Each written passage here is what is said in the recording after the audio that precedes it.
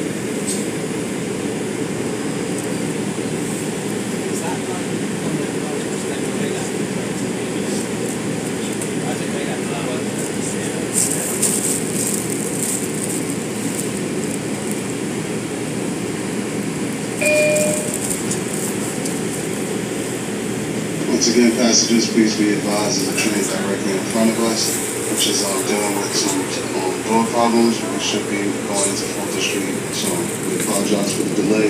We thank you for your patience.